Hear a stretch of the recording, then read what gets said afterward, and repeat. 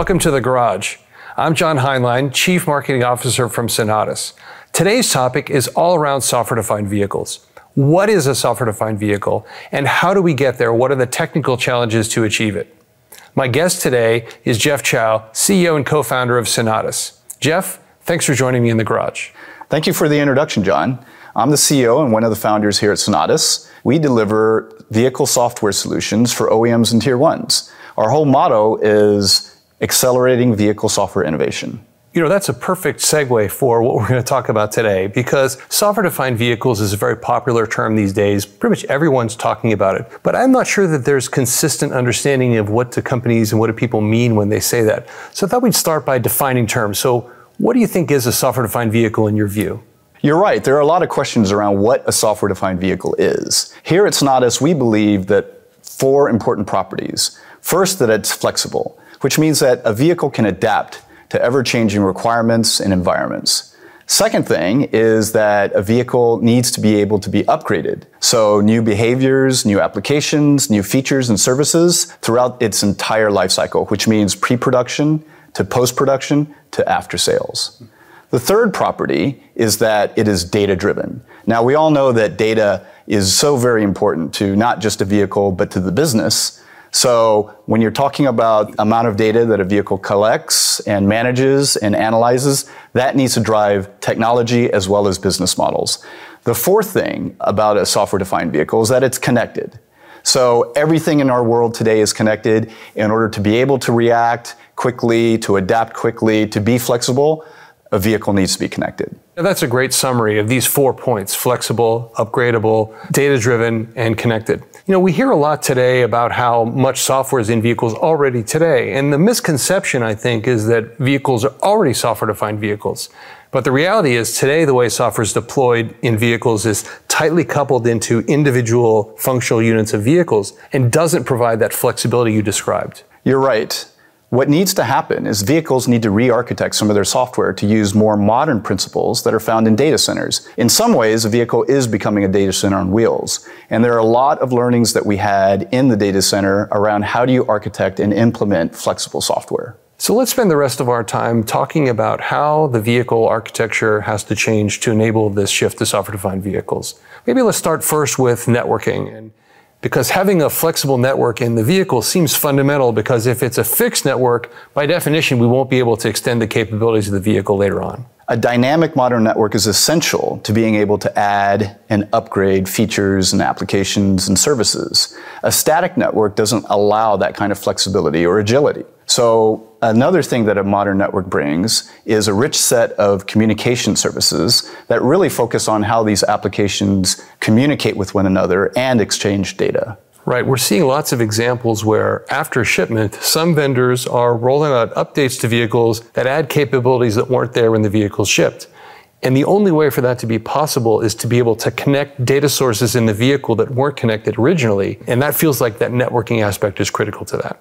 We used to say the network is the computer. And that was a term that we used in the IT industry, and we believe that will hold true in the automotive industry as well. So, what kinds of standards in vehicle network do you think are coming out that are enabling this kind of change? We see automotive Ethernet as being the predominant technology, but there are going to be other requirements for safety, security, and resiliency as well in real time as well. We're seeing innovations on top of automotive Ethernet to handle time critical, time sensitive network as well. And so it seems to me you'll be able to get the benefits of the modern networking while at the same time delivering the requirements in the vehicle architecture. That's all about flexibility. As the industry evolves and technology evolves, you have to be able to react to things in real time. So quicker and quicker. And absolutely, a new E architecture, a modern software architecture is all part of that. I think the second aspect is the way ECUs were structured in the vehicle before. Classically, you would have a single function ECU that would handle a job for its entire lifetime. And there were many, sometimes as many as 150 ECUs around the car doing these specialized functions. There's a desire from OEMs and tier ones to simplify the vehicle, reduce cost and weight, and consolidate these ECUs together where a single ECU may do multiple jobs. But of course, this makes for a more complicated software environment. The consolidation of hardware requires a lot more software.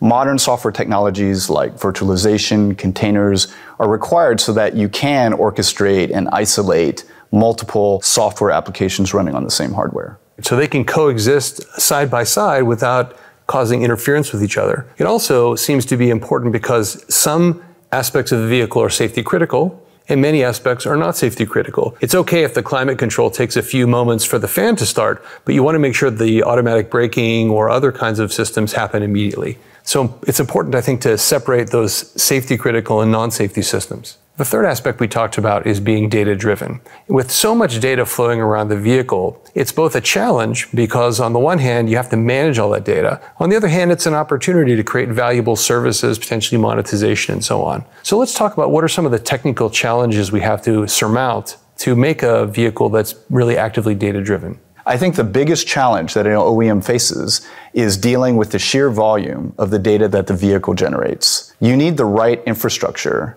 in both the hardware as well as the software in order to be able to manage, collect, store, secure, and transmit that data. The second thing you have to be able to do is you don't need all of the data all the time. You have to be intelligent about what kind of data that you need and when you need it. And that may change over the life cycle. There may be times when everything's operating normally and you don't need to collect certain data, but you may also have some troubleshooting where you need to zero in on a problem. And so it seems like you want to be able to adjust that dynamically.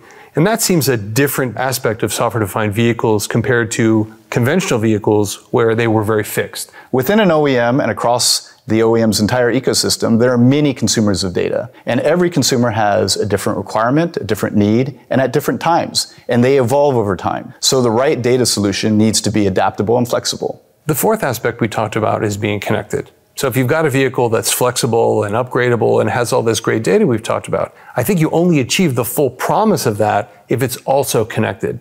The benefits of being connected is that it unlocks the power that the cloud brings. This is important not just for data management, but also in how you deliver new services and features. We believe that OEMs are going to take extensive advantage of the cloud for many different reasons, whether it's providing services, as you mentioned, things like rapid prototyping, and I think even unlocking the connected vehicles of the future, where vehicles talk to each other, vehicles talk to infrastructure in the cloud. I think it's going to be a very powerful use of connected vehicles. Thanks, Jeff. This has been a really wide ranging discussion. We've covered a lot of important points. Thanks for joining me today. On today's episode, we talked about a software defined vehicle as having four critical aspects being flexible, upgradable, data driven, and connected. In the coming episodes, we'll dig deeper into each of these aspects, both with experts from Sonatus as well as industry leaders from other key partners. We hope you'll join us for future episodes in the garage. Thanks for joining us, and we'll see you again soon.